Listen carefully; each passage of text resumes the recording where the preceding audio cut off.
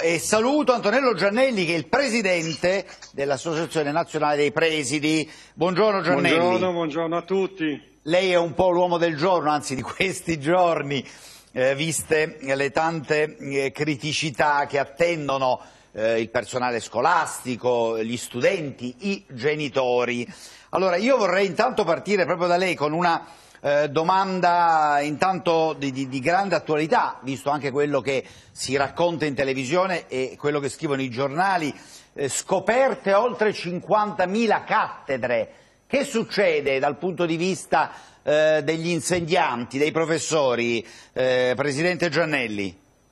Ma guardi, eh, io credo che come spesso sta accadendo in questi giorni si confondano notizie e informazioni che hanno a che fare con l'emergenza Covid con altre che hanno un po' meno a che fare. Allora ricordo che i posti di insegnamento in Italia sono circa 800.000 e ne mancano 200-250.000 di ruolo per il fatto banale che ogni anno vanno in pensione un certo numero di persone, diciamo 40.000 all'anno, e che lo Stato non riesce a stare dietro a questi pensionamenti con un numero di concorsi equivalente. E, cioè non riusciamo ad assumere 40-50.000 persone di ruolo ogni anno e quindi si accumulano negli anni un certo numero di posti vuoti che vanno coperti con supplenti. Quindi in questo avere ehm, eh, 50.000 posti scoperti insomma, non è una cosa particolarmente significativa. È evidente che in questo momento c'è un po' di preoccupazione tra il personale per eh, la situazione Covid perché ricordo che il personale della scuola è abbastanza avanti negli anni, oltre il 40% sì. dei docenti ha più di 55 anni, che di per sé non significa nulla, ma se sommiamo questa condizione anagrafica con magari delle pregresse patologie o qualcosa che mh, comporti una situazione di immunodeficienza, allora si crea quella cosiddetta situazione di fragilità che è in questi giorni oggetto di esame da parte dei medici competenti e sui quali peraltro stiamo attendendo istruzioni un po' più precise sì. dal Ministero della Salute e dall'INAIL per sapere come gestire. Quindi voglio dire, indubbiamente ci sono delle criticità, però non sono macroscopiche rispetto al Beh, Diciamo così, Giannelli, lei, eh, anche per il ruolo che riveste, getta un po' di acqua sul fuoco, dice ridimensioniamo eh, i diversi allarmi e cerchiamo di capire come stanno le cose, sempre eh, in riferimento a quanto eh, si, si, legge oggi, no?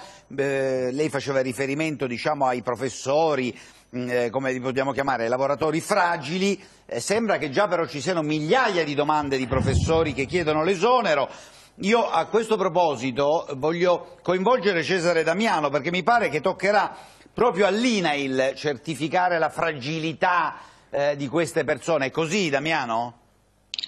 Ma guardi, il tema della fragilità è interno all'attuale mercato del lavoro. Si sta parlando eh, dell'età media degli insegnanti, oltre i 50 anni, e se parliamo del mondo del lavoro privato, mediamente secondo l'Istat abbiamo persone che hanno 44 anni di età. Quindi è evidente che abbiamo una forza lavoro in età avanzata e quindi, come sappiamo, può avere più patologie e più rischi da sostenere di fronte ad una pandemia. In ogni caso, anche qui ci vuole una regola di buon senso.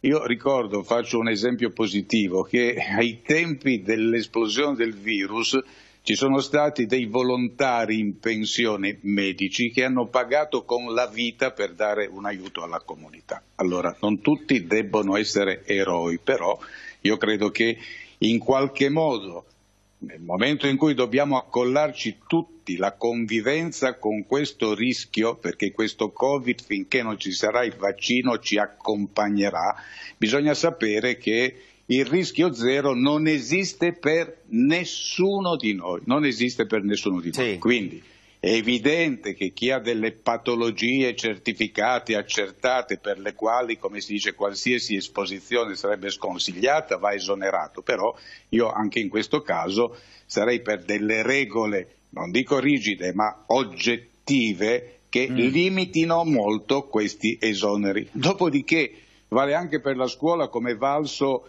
per le attività private. Io quello che dico, eh, le associazioni lo sanno, dei presidi piuttosto che dei sindacati dei lavoratori della scuola. Quello che conta è la condivisione tra le parti sociali, in questo caso il Ministero dell'Istruzione e i sindacati che rappresentano tutte le figure all'interno della scuola, attraverso i cosiddetti protocolli, che sono quelli che da una parte danno le indicazioni diciamo, più responsabili di comportamento, è avvenuto nel privato, può avvenire nella scuola pubblica e privata. Dall'altra parte quei protocolli, se giustamente applicati, diciamo dall'A alla Z sono quelli che esentano ovviamente i dirigenti scolastici anche dalle responsabilità che potrebbero derivare dalla sì, contrazione anche virus, in... anche se questo è un sì. virus multifattoriale, quindi non si può dire che si contrae in quel posto, lo puoi contrarre a casa piuttosto che eh, sull'autobus, piuttosto che a scuola, piuttosto certo. che al supermercato. Sì, perché anche per eh, i, i presidi, insomma, c'è stata la richiesta di una sorta di scudo penale proprio, no?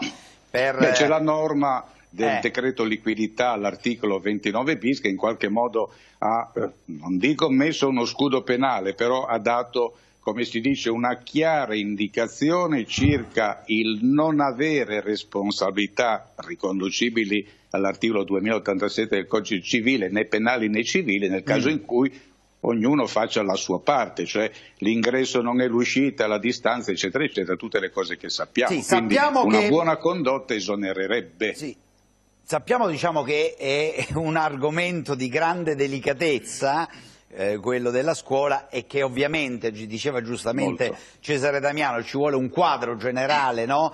eh, di norme, insomma, di indicazioni che siano il più possibile puntuali poi sappiamo come è diversificato... Un protocollo è stato fatto. Sì, no, ma sappiamo come è diverso il paese, di come sono diversi gli sì. istituti scolastici, di come sono diverse le esigenze. Diciamo che in questa no. fase ci vorrebbe, uso due parole, due definizioni, molta responsabilità e anche molto buonsenso, no?